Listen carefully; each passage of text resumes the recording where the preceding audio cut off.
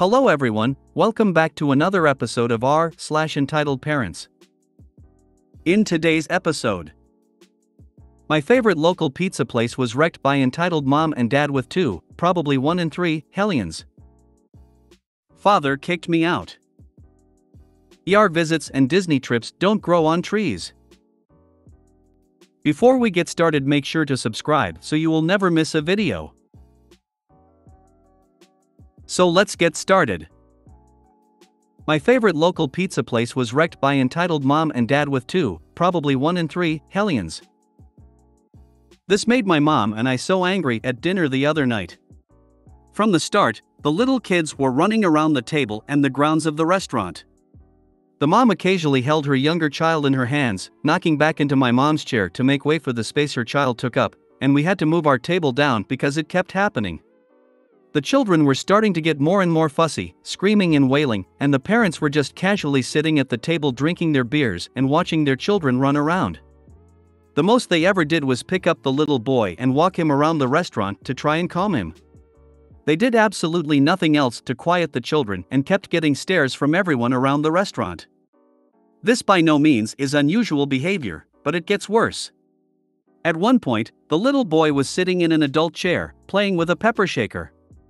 He was shaking it around sideways, and when we saw him get up off of the chair, there was a dense covering of pepper on all of the leather of the chair and across the floor.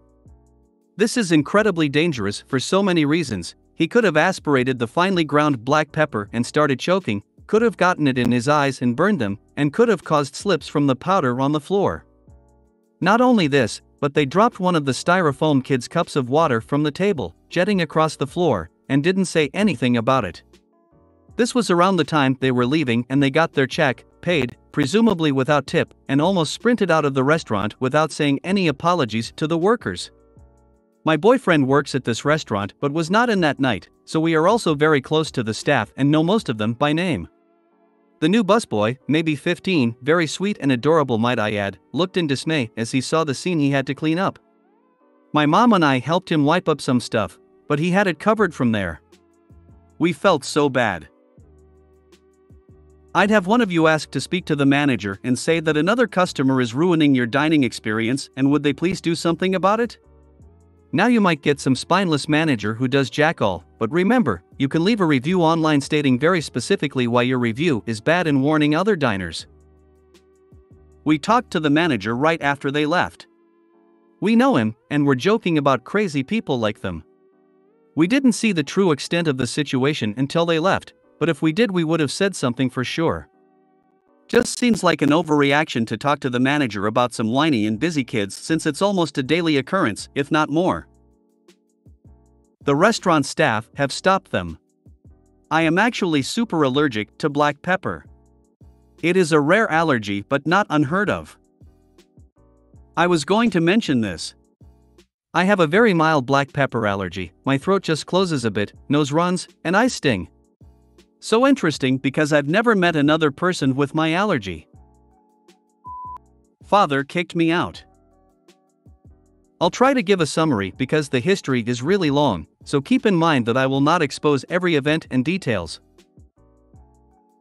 Back to 2021, my parents got divorced, and most of the household goods, like towels, dishes, cutlery, etc., were bought by my mother, and she was the one leaving the house, and left those goods too because I stayed in the house with my father.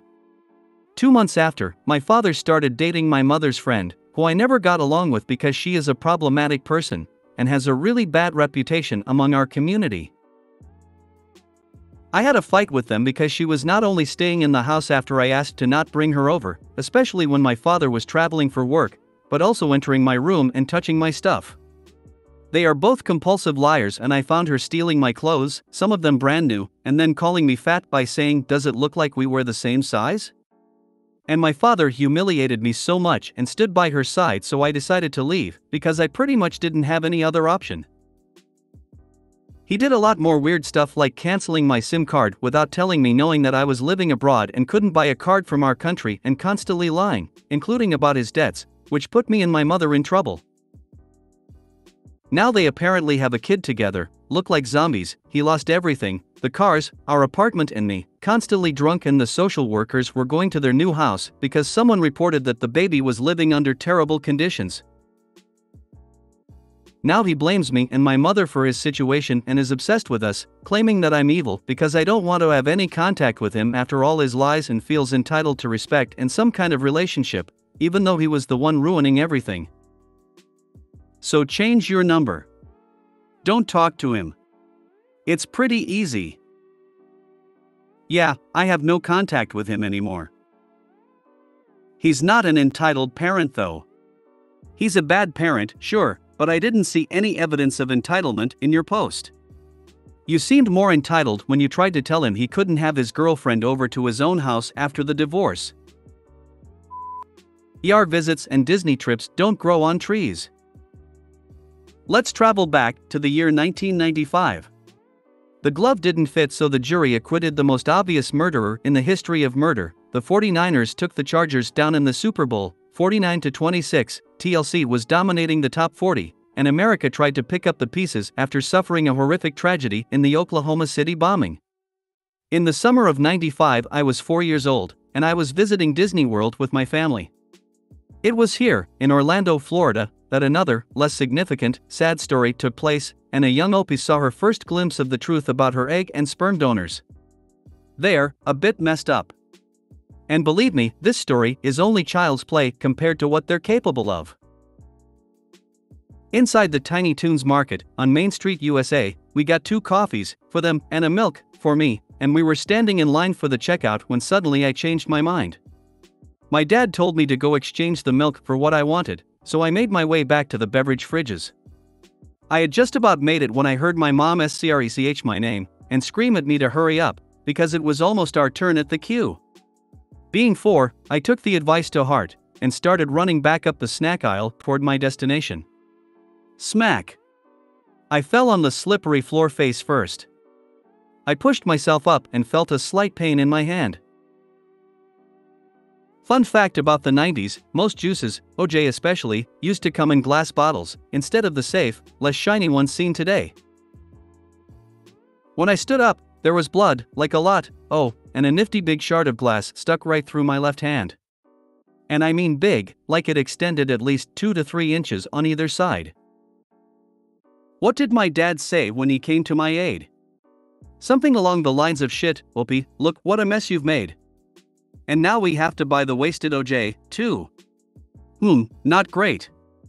But it could be worse. He really fought the clerk about paying for the OJ. What did my mom say when she ran to my aid? Well, first of all, she never ran anywhere. She stayed in line, demanding that the people behind her keep waiting for her to make a breakfast sandwich selection. Second, after buying her coffee and making her way over to me, she said, Damn it, Opie. Do you have any idea how much money I spent on these tickets? I might as well flush them down the drain, cause thanks to you, we all get to spend the day at the ER instead. Yeah, that's worse. What's even worse still? My dad and grandfather ended up taking me to, and waiting with me at, the ER all day, while my mom opted to generously stay at the park and take my cousins on the rides. She's super thoughtful like that. Again, I was only four when all this went down, and even though I actually do remember a lot of it, I can't be expected to remember the fine details. Thankfully, I have my awesome, hilarious older cousin C, an eyewitness, to help fill in the gaps of this story. We hope you enjoyed. You got to go to Disney when you were four? My parents refused until I was 10 and would remember it. It very obviously wasn't for the kid. And that's your main takeaway from the story? If you made it to the end of the video, thanks for watching. Don't forget to like, subscribe and share and we will see you in the next video.